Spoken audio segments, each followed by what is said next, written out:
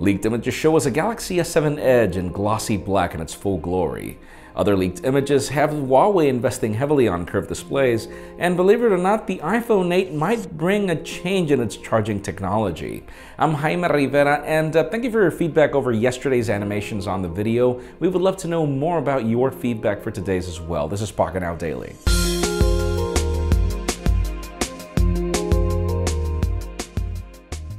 The official news today begin with deals. We did not like Verizon taking over the exclusivity of the Google Pixel, but this deal is compelling. You can get the 32 gigabyte variant for just $10 a month if you sign up to a leasing program for 24 months.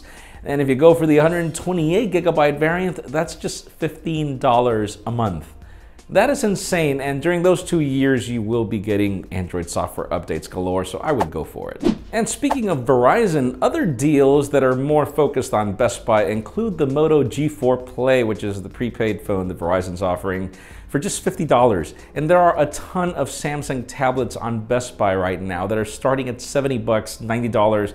That is just crazy, and even though these tablets aren't great, hey, a tablet for your kids, that's a really good deal. Now, even though we don't believe that Apple is going to make the move into wireless charging, KGI Securities is famous for their rumors and tips.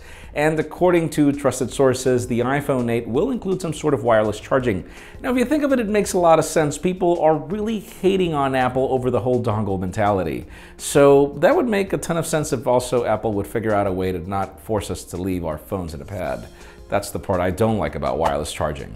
Now let's talk about Huawei. The company has made an amazing splash this year with some really great dual camera phones, and that all started with the P9 and its whole Leica branding. But that is moving forward. We've got some leaked images of the Huawei P10.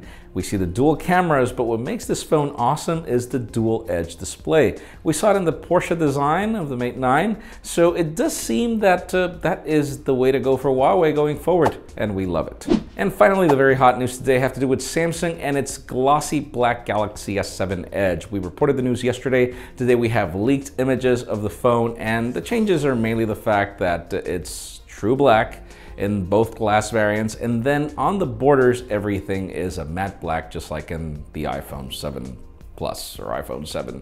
And this is interesting mainly because, well, it's weird for Samsung to be announcing products so late. We still don't know when we're getting this product, but it does lead me to the question of the day. Even in its uh, full glossy black glory, would you go for this Galaxy S7 Edge or would you wait for the Galaxy S8? In my case, I would wait for the Galaxy S8, but leave us a comment down below. We'd love to know your opinion. Friends, you know the way it goes. If you want to get the news earlier before the video is filmed, follow us on PocketNow.com and hit that subscribe button down below for more videos like this one. You can also follow me on Twitter, Jaime underscore Rivera, or on Instagram at Jaime Rivera. Please give this video a thumbs up if you like what you saw. I am Jaime Rivera. Thank you very much for watching. We'll see you tomorrow.